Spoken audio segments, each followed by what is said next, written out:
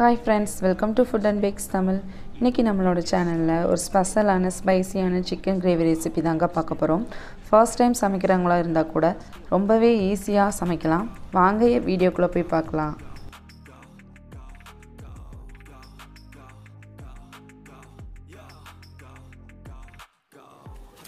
கடாய் heat ஆனதுக்கப்புறம் நான் ஒரு ஆறு மிளகாய் வத்தல் சேர்த்துருக்கேன்.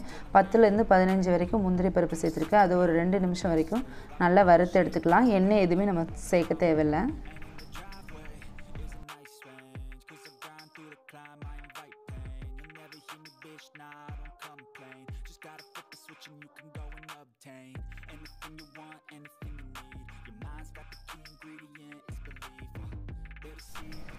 இப்போ நம்ம வறுத்து எடுத்ததை ஒரு மிக்ஸி ஜாரில் போட்டு கொஞ்சமாக குறை குறைப்பாக நம்ம அரைச்சி எடுத்துக்கலாம்.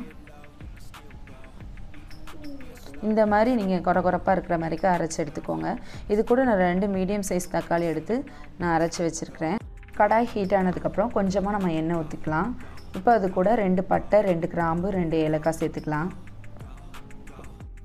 இப்போ நான் ரெண்டு மீடியம் சைஸ் பெரிய வெங்காயத்தை எடுத்து சின்னதாக கட் பண்ணி வச்சுருக்கேன். அது இது கூட சேர்த்து நல்லா ஒரு வாட்டி நல்லா வதக்கி விட்டுக்கோங்க.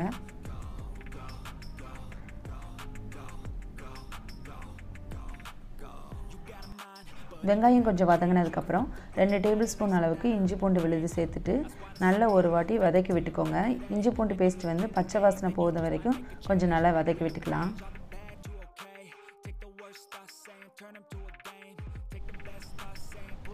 கால் டீஸ்பூன் அளவுக்கு மஞ்சள் தூள் ரெண்டு டே டேபிள் ஸ்பூன் அளவுக்கு மல்லித்தூள்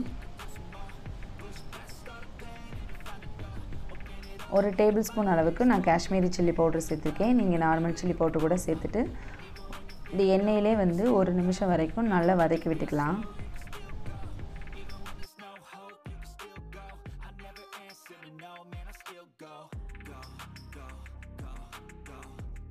நான் அரை கிலோ சிக்கன் எடுத்து நல்லா க்ளீன் பண்ணி எடுத்து வச்சுருக்கேன்.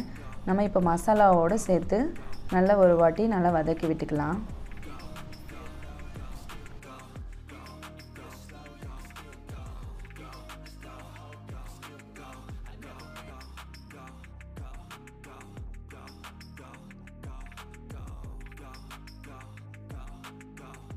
இப்போ நம்ம தேவையான அளவுக்கு உப்பு சேர்த்துட்டு நல்லா ஒரு வாட்டி நல்லா பெரட்டி விட்டுக்கோங்க.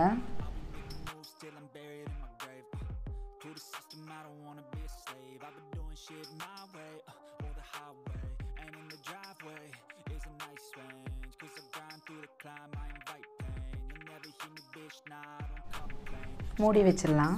இப்போ இந்த எண்ணெயிலே அஞ்சு நிமிஷம் வரைக்கும் நல்லா இந்த சிக்கன் பீசஸ்லாம் குக் ஆகட்டும். ஆயிடுச்சு. நம்ம இப்போ மூடியை ஓப்பன் பண்ணி பார்த்துட்டு நம்ம அரைச்சி வச்சுருக்க மசாலா வந்து இது கூட சேர்த்துட்டு நல்லா ஒரு வாட்டி நல்லா பெரட்டி விட்டுக்கலாம்.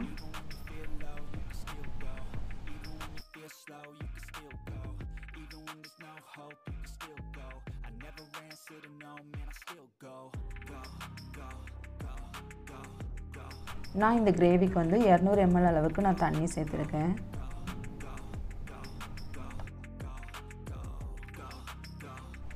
இப்போ நம்ம அரை டேபிள் ஸ்பூன் அளவுக்கு கரம் மசாலா சேர்த்துக்கலாம். ஒரு வாட்டி நல்லா மிக்ஸ் பண்ணி விட்டுக்கோங்க. மூடி வச்சுட்டு பத்துலேருந்து பதினஞ்சு நிமிஷம் வரைக்கும் நம்ம நல்லா வேக விட்டுக்கலாம். இப்போ மூடியை ஓப்பன் பண்ணி பாருங்கள் இப்போ நமக்கு சூப்பரான சிக்கன் கிரேவி ரெடி ஆயிடுச்சு. இப்போ ஸ்டவ் ஆஃப் பண்ணிவிட்டு கொஞ்சமாக கொத்தமல்லி இலை தூவி விட்டுக்கோங்க. ஸ்பைசியான சிக்கன் கிரேவி ரெடி ஆயிடுச்சு. இந்த சிக்கன் கிரேவி வந்து நான் பரோட்டா சப்பாத்தி ரைஸ் எதுக்கு நம்ம தொட்டு சாப்பிட்டாலுமே ரொம்பவே டேஸ்ட்டு சூப்பராக இருக்குங்க. நீங்கள் இதை ட்ரை பண்ணி பாருங்கள் உங்களுக்கு இந்த வீடியோ பிடிச்சிருந்தா லைக் பண்ணுங்கள் ஷேர் பண்ணுங்கள் கமெண்ட் பண்ணுங்கள் மறக்காமல் சப்ஸ்கிரைப் பண்ணுங்கள் மறுபடியும் நான் இன்னொரு வீடியோவில் சந்திக்கிறேன். Bye bye